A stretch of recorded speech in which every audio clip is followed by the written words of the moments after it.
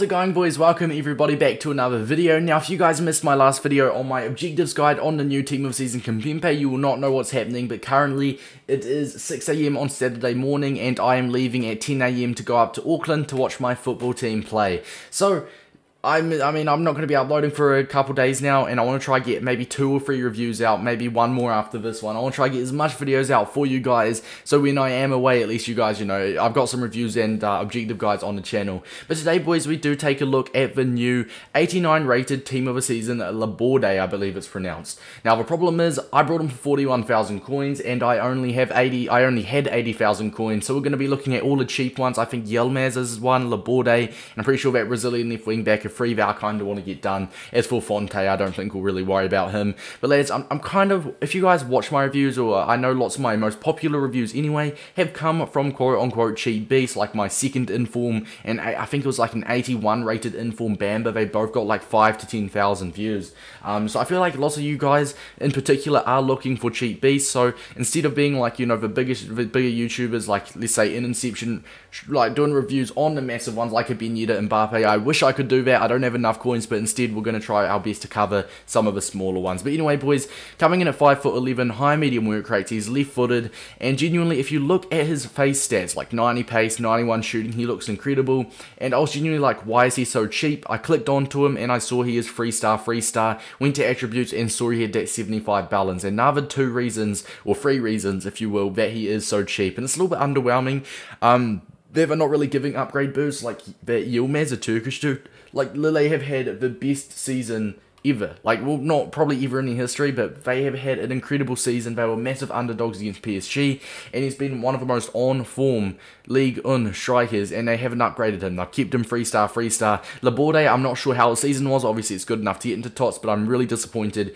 he is still free star, free star. But we have gone ahead and gone for an for an engine for obvious reasons. He goes to 95 pace. His shooting is already fantastic. His he gets a really nice passing boost as well. Going to 85 long passing, 95 curve, and 98 short passing, but also most importantly the plus 10 balance and a plus 5 agility, plus 9 dribbling veer as well. He's already got 93 stamina and 92 strength, which is lovely, and he does sadly not have any traits. Now I'm actually going to go show you guys my custom tactics. We decided to play him in a 4-2-2 as a right cam. We've got King Kenny, Pele, and Otavio, who we actually tried out at left cam, and we do have him on get into the box and drift wide.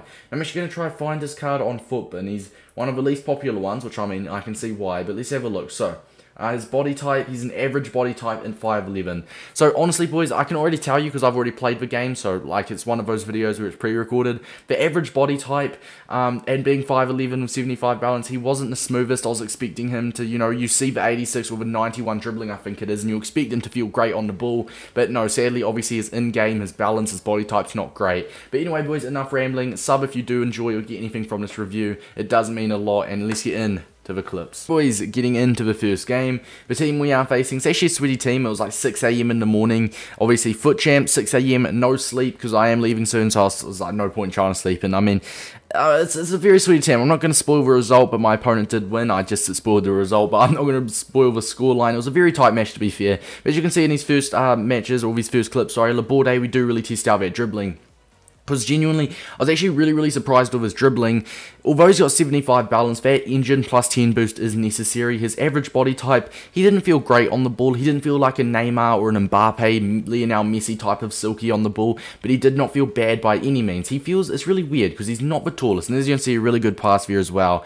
He's a very interesting card. Like, he's very, very fast. He is absolutely rapid, especially with an engine going to 95 pace, as you can see in those clips here. His ball control particularly, I could probably, I, I can tell you now, his ball control was his key stat. His ball control, pace, and passing is the type of card you're getting. Obviously, he's got some ridiculously good shooting, but at the same time, he's got a free star, free star, and that really, really limits you as a card.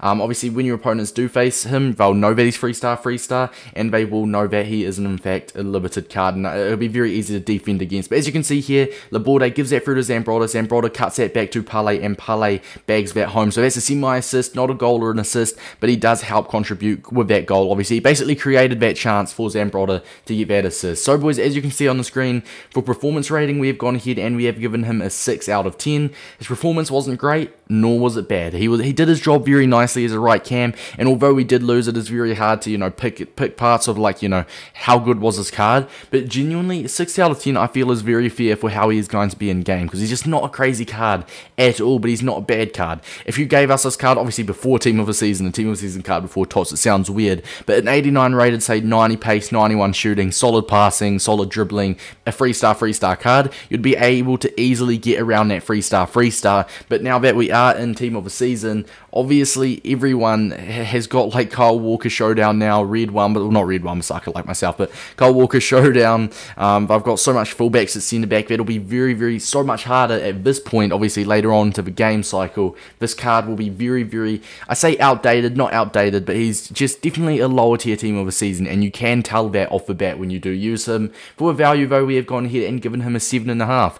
Um, obviously, you guys will know with performance rating, the reason we've done this is because performance rating on how he performs in game. They could play shit, but they could be worth like pistol, and it's actually a really good price. This card he actually played okay, and he's actually a really reasonable price. He's currently 38,250 coins, so he's dropped a few K since we brought him. But for 38,000 coins, you've got a really, really, really solid League One or French League right wood, right wing, right mid, right cam, central cam if you want to. Definitely wouldn't try him striker with a free star, free star. But he's a very rotational player, obviously on the wing, out wide, in the central, in the midfield somewhere, which is a bonus of him. So I definitely feel like, although he is not the greatest card. He's got a really, really good value about him. For the pros, it's going to be his pace, it's going to be his shooting, it's going to be his passing and physical. His physical, especially like his stamina was solid, his strength is actually really good for a, for a card that, you know, usually you'd look at this card, 5'11 average body type, dribbling, very solid. You'd expect him not to be that strong, but no, he's actually relatively strong. But for the cons, it is 3 star, 3 star, 75 balance, and the average body type is a little bit harsh. So I'm going to do, boys, I'm going to hold up, uh, oh, sorry, load up football now. Going to take another deeper look into his card and give you guys the chem style. So like I said, I've gone with an engine because I feel like that's the most necessary on first glance. He goes to 85 balance, 89 agility, gets a very nice pace boost and puts him up to 92 passing in game. This puts him to a 93 rated cam, a 93 rated centre forward, a 93 rated right wing, a 93 rated left wing, and a 94 rated striker. You go for a finisher, which puts him to a 95 rated striker, so as I said, um, on paper this card could play anywhere in attack, but personally, I just would not play him as a striker with a 3-star 3-star, especially at this point. A sniper puts him to a 90 rated cam, a 90 rated right forward, a 90 rated left wing.